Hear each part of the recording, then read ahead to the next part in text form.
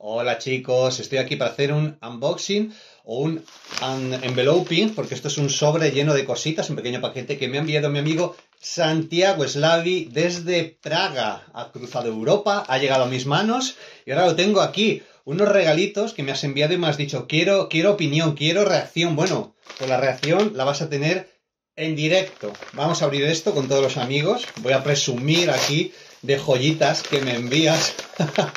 vamos a ver, vamos a ver. Uy, aquí esto está colchado. A ver, a ver, a ver, a ver. Vamos a empezar por aquí.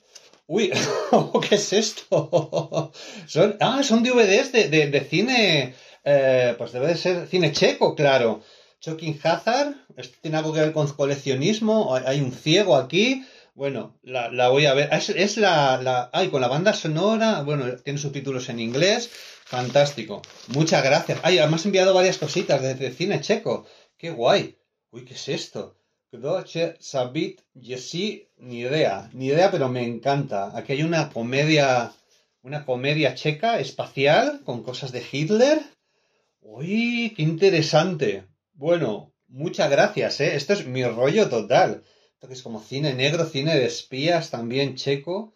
Fíjate que esto me suena a haberlo visto en la exposición de espías que hubo en, en la caixa que hubo y que, y que hay, porque depende. Esto es como muy de cómic, ¿no? Tiene así como, como viñetas, bocadillos. ¡Ay, qué interesante! Ni idea, no sé quién es Olga Esbrovera. No, es Verova, es Verova o algo así. No sé quién es, pero seguro que tiene pinta de ser una diva absoluta. ¡Jo! Muchas gracias, estoy emocionado. Muchas gracias por poner esto en mi vida. Vamos a ver aquí, mira, aquí hay otro. Ostras, pero ¿y esto de los centinelas? Porque los Centinelas era la secuela de Robotech, de Sentinels, que es Robotech 2, que no se llegó a hacer y tiene tráiler, secuencias, los openings, que supongo que no se llegaría a hacer, unos vídeos y los videojuegos. Pero claro, la serie, pues me imagino que no está. ¡Ay! Muchas gracias, tío. Eh, claro, es una cosa que nos gusta mucho a los dos. Robotech, supongo que macros más que cualquier otra cosa, porque aquí sí que veo veo que está Rick, veo que está Lisa y alguno de los personajes creo que, que de las secuelas, ¿no? Bueno, ya le tendremos que echar un vistacillo. Muchas gracias, tío. Aquí hay un montón de cositas. Ah, que son pequeños fetiches. Uy, ¿qué es esto? ¿Son cromos? Pesadilla infernal. Son cromos de alguna colección. ¡Oh! Álbum terror. Aquí con Freddy.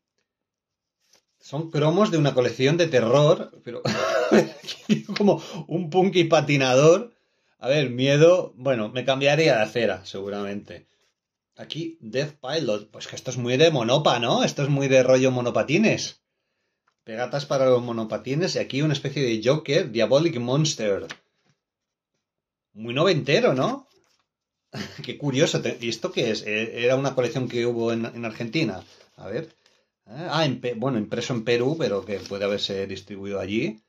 Mm, qué gracioso, no tengo ni idea. Bueno, colecciones de cromos ignotas para nosotros. Hay aquí unos cromos de Cartoon Network con Patán, ahí luego lo miro.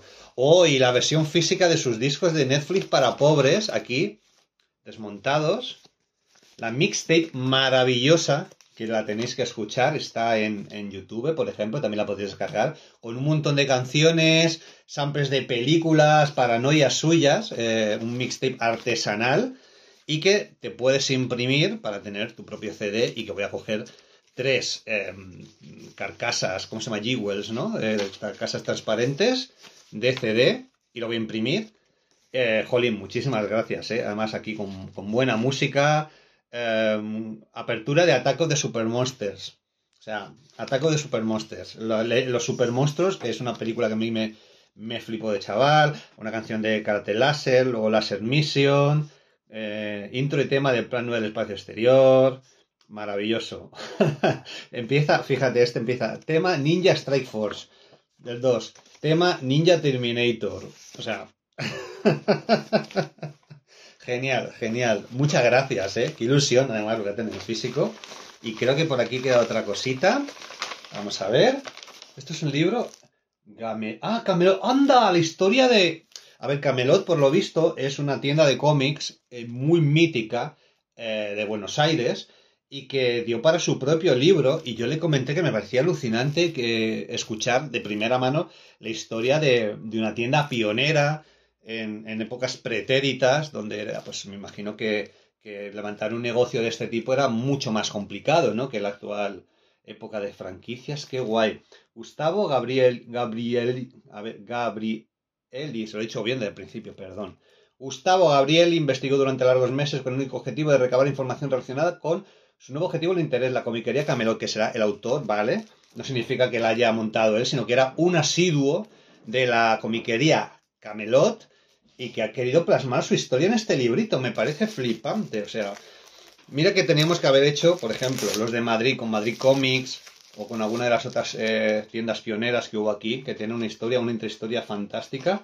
¿Cómo voy a disfrutar esto? Además, yo como ex trabajador de una tienda de cómics, em, seguro que me identifico con más de una, con más de una situación.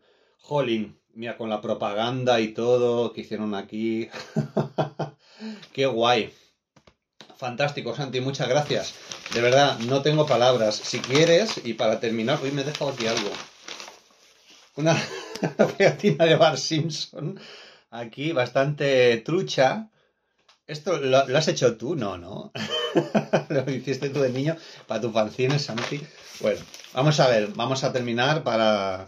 Vamos a terminar abriendo estas pegatinas de Cartoon Network Pone Saló, Saló o los 120 días de, Sodoma o qué. Bueno, ¿te imaginas?